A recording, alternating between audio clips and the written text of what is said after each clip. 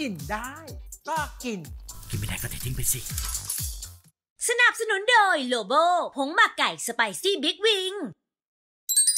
สามชั้นคั่วน้ำปลาหวานของเราเนี่ยนะคะ จะเอาเจ้าสามชั้นที่เราพักทิ้งไว้จนเสด็จน้ำเนี่ยใส่ลงไปในน้ำมัน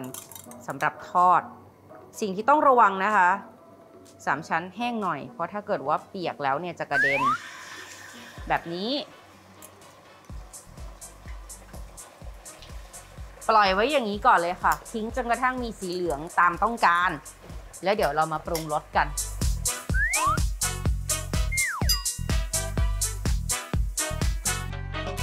หลังจากผ่านสมรภูมิมานะคะ เราก็จะ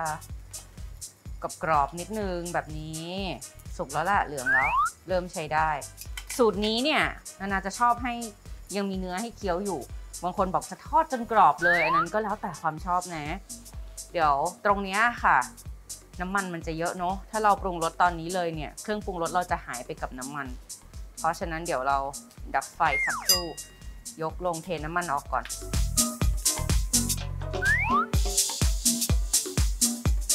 เหลือน้ำมันไว้นิดนึงนะ โอเค แค่พอติดกระทะแบบนี้นะคะ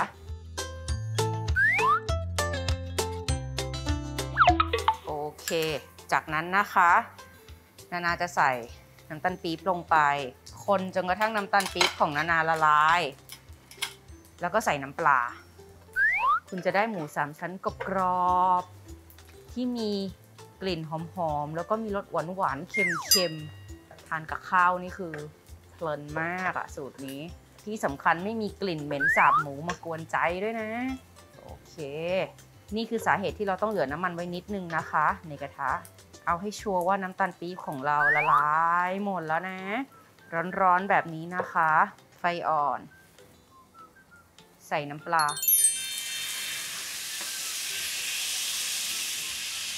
อกลิ่นของความอร่อย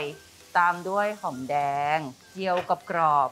เนี่ยเนี่ยเนี่ยเนี่ยเนี่ยยกลงเสิร์ฟได้เลยค่ะ ตักสามชั้นคั่วน้ำปลาหวานของเรานะคะ ลงไป ก่อนเสิร์ฟนะ หอมแดงเจียวกับกรอบๆเวลาใส่หอมแดงเจียวลงไปอะเพิ่มตรงเนี้ยเวลาทานอะมันก็จะมีความกรอบกรอบเพิ่มเข้าไปด้วยนานาเพิ่มพริกขี้หนูทอดนะคะ ลงไปตรงนี้ นอกจากจะสวยแล้วเนี่ยทานแหนมนะมันทำให้รสชาติเข้ากันมากยิ่งขึ้นด้วยค่ะ ลองเอาสูตรของนานาไปทำกันดูนะ วันนี้กับเมนูหมู 3 ชั้นคั่วน้ำปลาหวาน ตั้งแต่เคล็ดลับการทำหมูให้ลดกลิ่นเหม็นสาบ จนกระทั่งวิธีการทำหมู 3 ชั้นคั่วน้ำปลาหวาน รับรองอร่อยมาก ๆ เลยล่ะค่ะ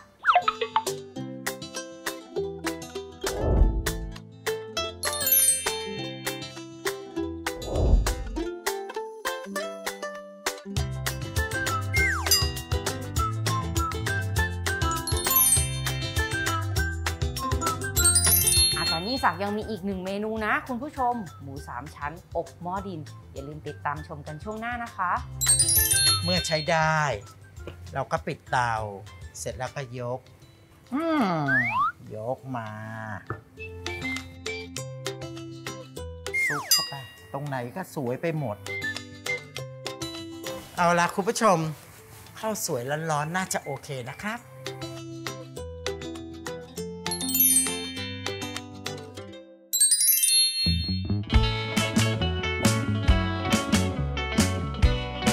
วันนี้เรามีเมนูยำวุ้นเส้นคีโต จากผลิตภัณฑ์ราสีสันยืนหนึ่งเรื่องความอร่อยมาฝากค่ะ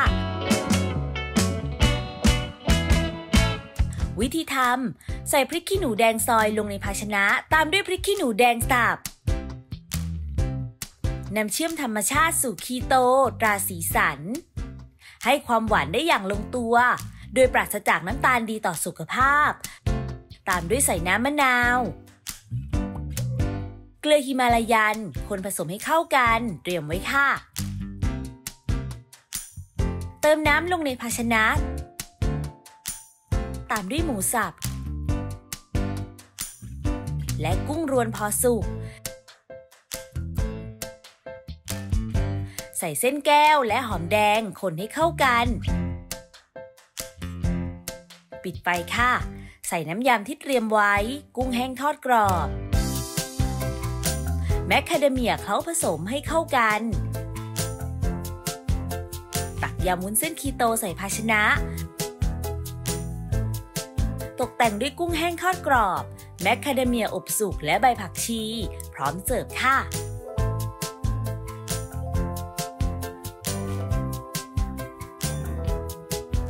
คุณผู้ชมสามารถติดตามความอร่อยเพิ่มเติมได้ที่แฟนเพจ Facebook สีสันโซน ชุมชนคนรักสุขภาพาวดี สีสันแจกโค้ดส่วนลด 50 บาท เมื่อช็อปที่ Facebook และ Line แอดสีสัน ตั้งแต่วันนี้ถึง 31 มกราคม 2565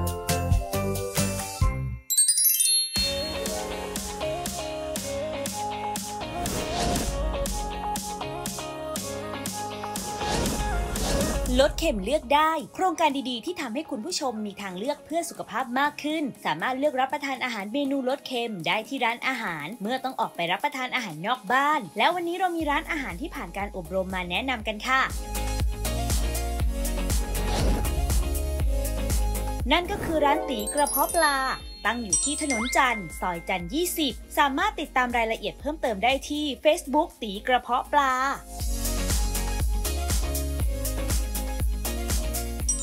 วัสดีครับ ผมเอกยุทธ์มงคลธนาจรมาจากร้านตีกระเพาะปลาถนนจันทร์ปากซอยจันทร์20 ร้านของเราบริการอาหารไทยจีนซีฟู้ดทางร้านของเราได้เข้าร่วมโครงการสสสเพื่อลดเค็มสำหรับลูกค้าที่ต้องการเมนูลดเค็มมาทานอาหารที่ร้านเราได้ครับ วันนี้เรามีเมนูมาแนะนำเมนูแรกเมนูกระเพาะปลาน้ำแดง เราใช้เครื่องปรุงลดโซเดียม เพื่อทานแล้วดีต่อสุขภาพ เมนูกระเพาะปลาน้ำแดง โดยปกติจะมีปริมาณโซเดียมอยู่ที่ 1,460 มิลลิกรัม แต่เมื่อทางร้านปรับลดความเค็มแล้ว จะมีปริมาณโซเดียมอยู่ที่ 584 มิลลิกรัม ปริมาณโซเดียมลดลง 60%เมนูที่ 2 เมนูข้าวผัดปูเป็นเมนู signature ของทางร้านข้าวผัดปูของทางเราจะมีกลิ่นหอมกระทะ เราใช้เครื่องปรุงที่ลดโซเดียมลดความเค็มลงทานแล้วดีต่อสุขภาพครับ เมนูข้าวผัดปู โดยปกติจะมีปริมาณโซเดียมอยู่ที่ 1,128 มิลลิกรัม แต่เมื่อทางร้านปรับลดความเค็มแล้ว จะมีปริมาณโซเดียมอยู่ที่ 373 มิลลิกรัม ปริมาณโซเดียมลดลง 67% ใน 1 วันเราควรรับประทานโซเดียมไม่เกิน 2,000 มิลลิกรัมต่อวัน หรือเท่ากับเกลือ 1 ช้อนชา หรือน้ำปลา 3 ช้อนชา รู้อย่างนี้แล้วอย่าลืมลดเค็มเพื่อสุขภาพที่ดีของเรานะคะ เพราะการบริโภคโซเดียมมากเกินไป อาจเสี่ยงโรคได้ค่ะ ส่วนใหญ่ความเค็มนั้นหรือว่าเกลือโซเดียมนั้นอยู่ในน้ำจิ้มนะครับหรือว่าเครื่องปรุงรสนะครับ เพราะฉะนั้นขั้นแรกคือก็ควรจะลดเครื่องปรุงรสน้ำจิ้มบนโต๊ะอาหารนะครับ โดยเฉพาะถ้าเขาปรุงมาจาก ในครัวแล้วนะครับบนโต๊ะก็ไม่ควรปรุงเพิ่ม ลดการปรุงเครื่องเครื่องปรุงลงลดผงชูรสนะครับ แล้วก็ทานน้ำซุปน้อยลงนะครับ อันนี้ก็ทำให้เราลดความเค็มลงได้นะครับ แล้วก็ดีต่อสุขภาพนะครับ แล้วก็ดีต่อครอบครัวเราด้วยครับ